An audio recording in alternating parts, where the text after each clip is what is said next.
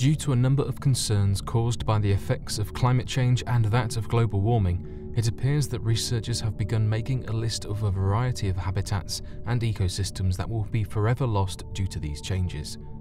Some of these lost habitations include small islands that appeared to be greatly threatened by the rising sea levels caused by an introduction of heat energy in the water of the world.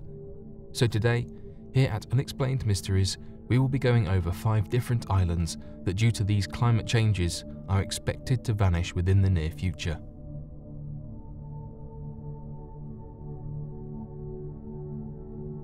The Solomon Islands Located in the South Pacific is a grouping of small islands known as the Solomon Islands. These islands total more than 1,000 small landmasses and atolls that have a wide number of adapted species seen nowhere else on the world.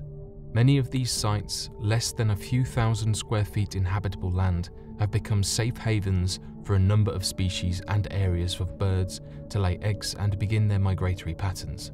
Unfortunately, it seems that these islands are in danger due to the overwhelming changes in the ocean level. Despite the large number of islands and landmasses, it appears that the Solomon Islands stand at roughly six and a half feet above the sea level.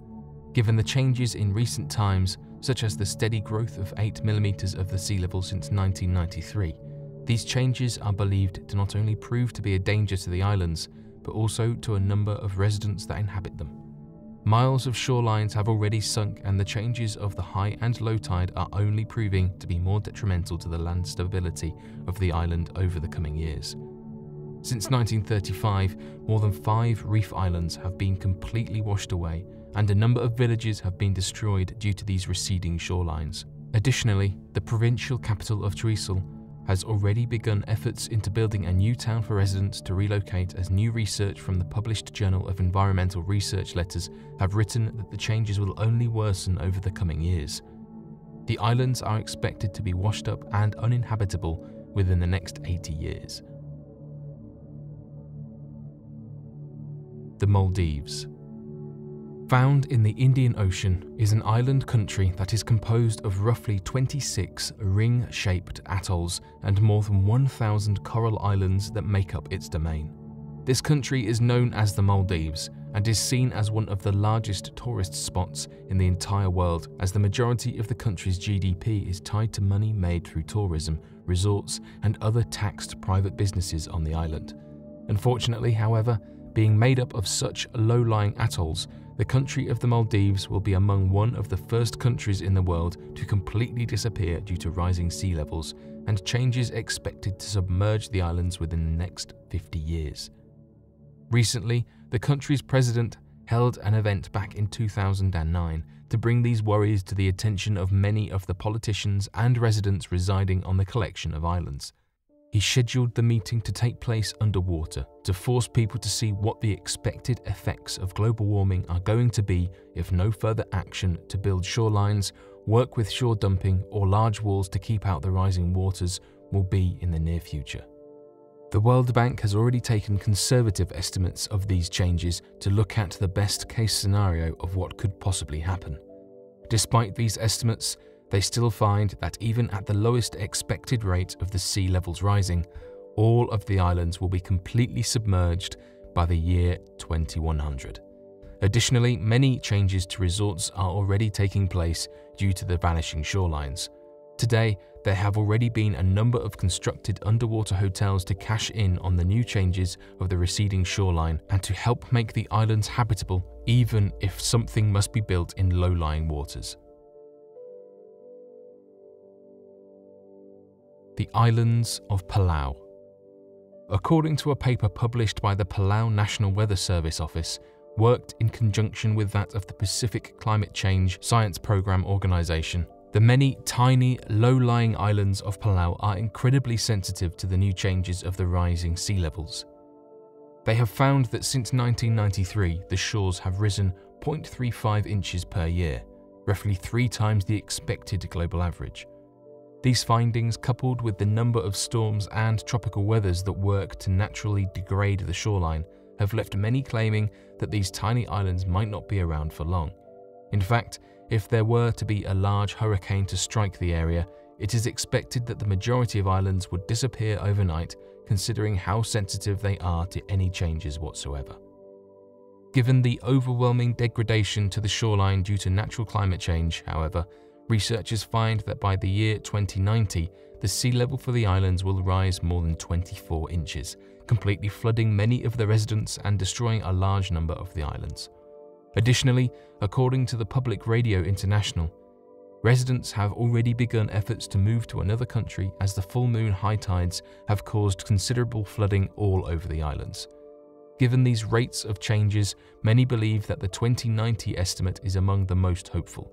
Realistically, researchers expect many of the inhabited lands to become uninhabitable over the next few years, resulting in a mass emigration of the residents of the island within the next decade. These changes have also led to a number of unique species located on and around the island from becoming endangered. Among these species is that of the non-stinging jellyfish native only to the islands. Soon they are expected to go completely extinct, drying up one of the major tourist attractions for the island that has already seen a major economic impact. The tiny island of Micronesia. Another island country that seems to be suffering from these changes is that of the country of Micronesia. Micronesia is made up of roughly 600 islands located more than 2,500 miles southwest of Hawaii out in the Pacific Ocean. When adding up the land of all of the islands combined, Micronesia only possesses roughly 270 square miles of land in total, a number dramatically shrinking every single year. It appears that in recent years, the small island nation has already lost a number of islands that have reduced their total land size, as well as many more of their islands shrinking in size due to eroding shorelines. This fast erosion of shoreline is mostly due to the drying off of mangrove trees that normally inhabited the shorelines of the islands and prevented the sands from washing away and slowly becoming eroded back.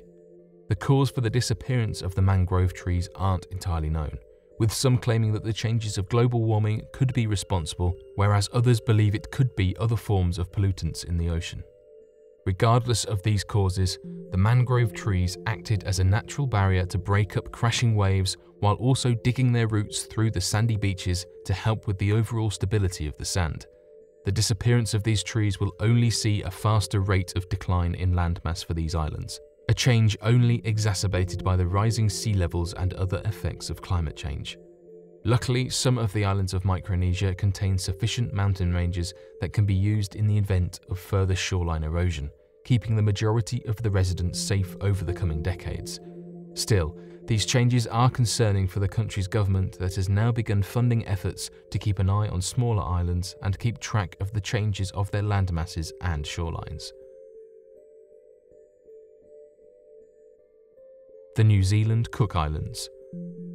Located off of the shores of the independent nation of New Zealand are a number of small, low-lying islands referred to as the Cook Islands.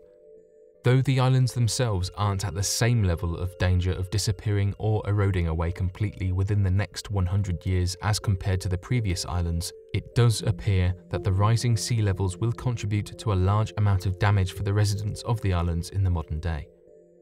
With the expected sea level rise as well as the already occurring changes in the shorelines, it is expected that within the next 50 years, there will be irreparable damage to roads, bridges, ports, and runways, of which could completely cripple the local economy of the islands if necessary actions are not taken to begin large construction efforts to substitute these damaged areas in the near future. Not only will the government be required to begin construction on alternative roadways, raised bridges, more stable constructions as well as a completely new runway in an area not in danger of the changes of the sea level. But the damage to property owned by residents of the island will lead to even further degradation of the quality of life and economy of the area. Unless residents begin taking action over the next few years, they could very well become victim to these changes and be left stranded with nothing in the very near future.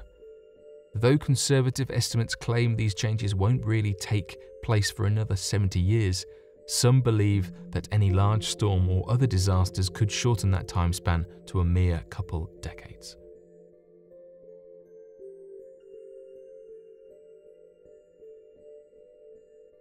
But what do you all think of these islands from around the world that should disappear due to a number of climate change disasters and environmental damages within the near future?